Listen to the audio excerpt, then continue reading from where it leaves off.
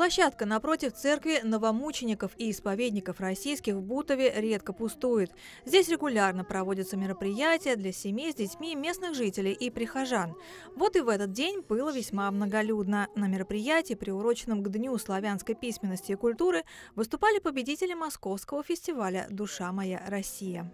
Мы уже пятый год проводим такой фестиваль «Душа моя Россия» на базе нашей школы, но за эти пять лет этот фестиваль вышел уже не только за рамки школы, но и за рамки Москвы. У нас принимали участие дети из Татарстана, из Великого Новгорода, из Твери и так далее.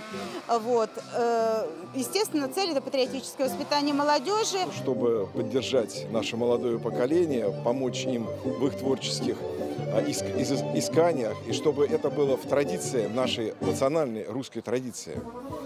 И поэтому мы решили, что проведение этого фестиваля вот на этой площадке, на которой мы также проводим какие-то наши такие приходские мероприятия, оно имеет глубокий смысл. Фестиваль проводится по трем направлениям художественное слово, танец и вокал. Для награждения и финального концерта организаторы впервые выбрали Ленинский городской округ. Славных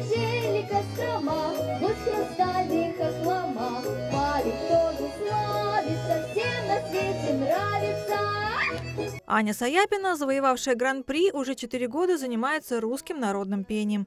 И это для нее далеко не первая награда. Русские песни, они с такой особой атмосферой, с особой душой. И мне как будто их легче петь, потому что у меня можно сказать, народный голос. Если подобрать песню, которая подходит под тебя, то и петь ее легче и более душевно. Мероприятие посетили более ста человек. Скучать было некогда. Мальчишки и девчонки приняли участие в интересных мастер-классах, а проголодавшись, отведали вместе с родителями настоящую полевую кухню. Гости праздника могли также понаблюдать, как из ледяной глыбы и обычного полена появляются скульптурные шедевры. Екатерина Борисова, Сергей Ларин, Гульнара Балаева. Видное ТВ.